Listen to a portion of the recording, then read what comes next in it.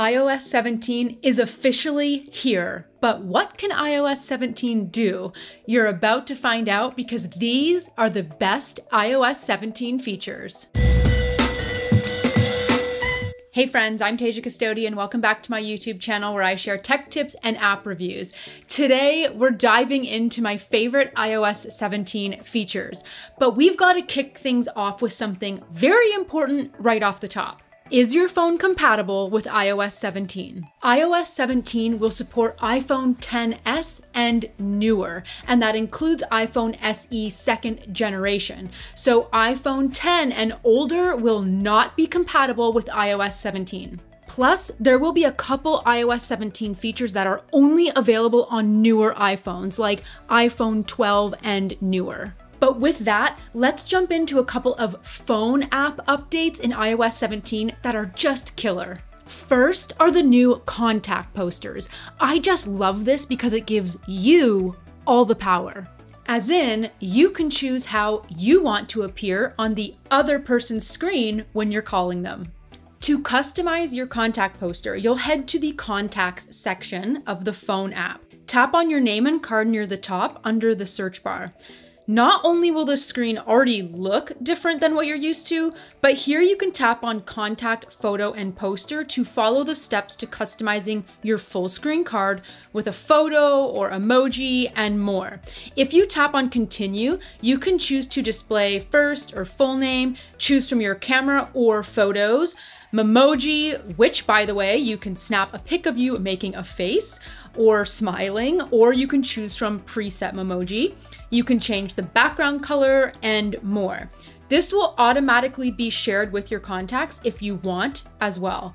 By the way, this is also supported in some third-party caller apps. You can also change your contact poster via the Contacts app. You will do this right at the top where your card is. Plus, you can change someone else's contact card too. You'll just tap on the contact and tap on contact photo and poster, just like you did for yourself.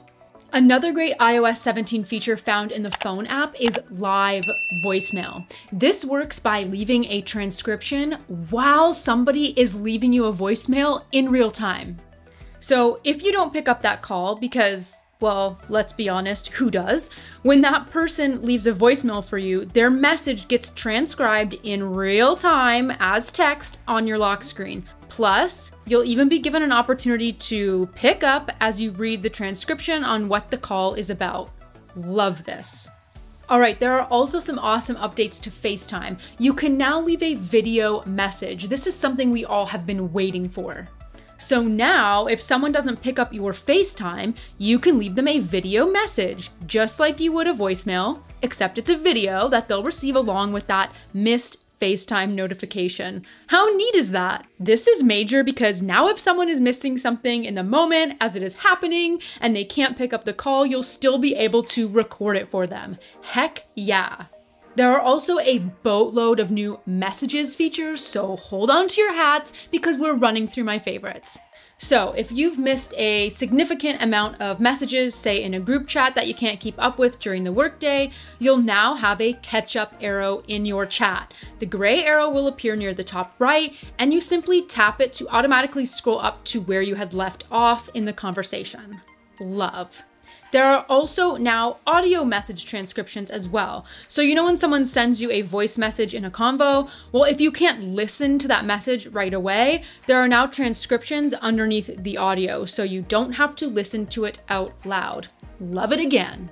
Now we've been able to reply to messages since I think iOS 16, but now you can swipe to reply. So it's just that much quicker to reply to a specific message. There are also live stickers now. You can add stickers by tapping the plus icon near the message bar and tap on stickers. Here you'll have recents, stickers you've created from photos, emoji stickers, and more. To create a new sticker from a photo, you'll tap on new sticker and then select a photo and choose add sticker. Once a sticker is added, you can even add effects to it. You'll also be able to share your location in real time in messages now, and you can set up auto notifications for loved ones to receive when you get home safely. Again, you'll tap the plus symbol in messages to either share your location or to set up the check-in feature. It'll actually calculate how long your journey should take and whether you walk, drive, or use public transit. This is one of my favorite new iOS 17 features. I am always here for a new safety feature and to take it out of our forgetful hands and automate it for us, all the better.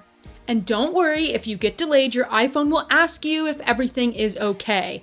If you don't reply to the delay prompt, then it'll notify the person on the other end of the message convo that something might be wrong. And even better, the check-in feature will share your current location and details about your battery level and network signal, and you can even choose to share more details if you wanted. It's text me when you get home, completely reimagined, and I am here for it. Next, I have been so excited for standby mode on iOS 17 that, of course, it has made today's list. But just FYI, standby mode works on iPhones that are MagSafe compatible. So if you're on the line of 11s and older, you're out of luck on this one. To activate standby mode on iOS 17, you just turn your iPhone horizontal and connect it to a MagSafe charger. This will automatically activate standby mode. You can customize the screen style from things like a clock to smart home controls, digital frame options, and more. Another favorite iOS 17 feature is Name Drop. This is where your beautiful contact poster you just learned how to create will really shine.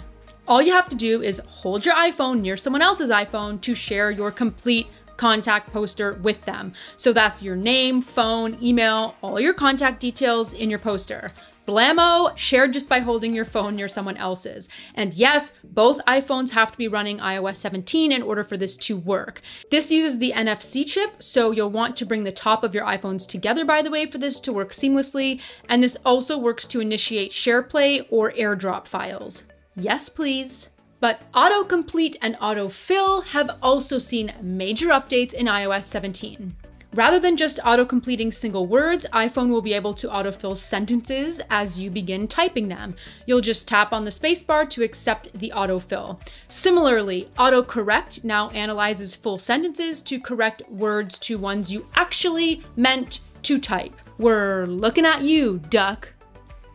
Okay, if you've got an iPhone 15 Pro or 15 Pro Max, you've got a new action button that does a whole lot more than toggle your ringer on and off. You can assign different functions to the action button, including accessibility features, shortcuts, silent mode, of course. You could open the camera from here, you could use it to open your flashlight quickly. The list really goes on and on. You can really customize it to your needs. We could really be here all day if we went over every single iOS feature, so here's a really quick rundown of some honorable mentions.